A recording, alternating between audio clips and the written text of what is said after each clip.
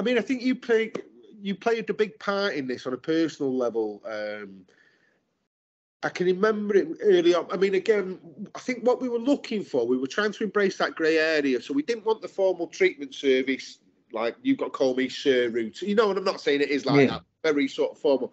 Um, but we also, at that point, we didn't want the full on, like, mutual aid fellowship sort mm. of hmm. thing. We kind of thought we needed to be to kind of sort of sit somewhere in the middle, really, just to provide the structure, particularly at the start, because that was one of the biggest challenges that we had was that we had no no actual recovery to start with. Everything we had nobody to come in with five or ten years. Only yeah, myself, yeah. but you know what I mean. I hadn't done like twelve step sort of stuff. And my my my addiction days go back to like early two thousands. So you know what I mean. It, it, it's not really relevant with with that sort of thing. So everything we had to kind of uh, sort of grow from that initial concept. But I can remember sort of very early on and sitting on the table and somebody uh, sort of turning around and saying it's the first time that I've ever felt part of a family.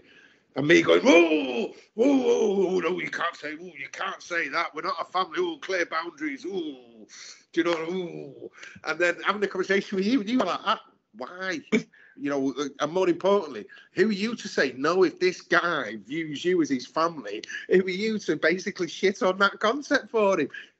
Allow him to do it and to embrace it. And, and again, and it was something went away and kind of and again, I had to kick that around for a bit because again, like when you come out of treatment services, you, you just get all this shit like ingrained into where you like you spend half your life looking over your shoulder to make sure you've not compromised yourself, not in your own head or your own heart, but in somebody else's eyes. You know what I mean? You're waiting for somebody mm. else to stop in it, and particularly the way that I work because, like mm. I sort of say, I don't have. Don't have a degree or, or, or, this, that, and the other. But what I can do is I can sit in a room with an addict, and when he's telling me a lot of bullshit, I can hear him and say, "Listen, come on, mate, that's cobblers." You know, do you know what I mean? So, yeah. Um, but yeah, it was just, and again, for something kind of having recognised that and actually sort of seeing the value in that and, and yeah. kind of recognizing that for a lot of these guys that they've never felt part of anything the only thing they've ever felt a part of is that using community which perversely yeah. does have quite a, an intimate sort of core to it. But um, yeah, just kind of um, something that, that we embrace fully now. Uh, and we actually describe ourselves as this big, weird, fucked up, dysfunctional family.